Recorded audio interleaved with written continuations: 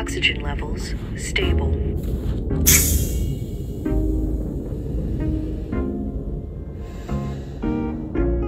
Your mission to observe and study planet Earth. Do not miss any.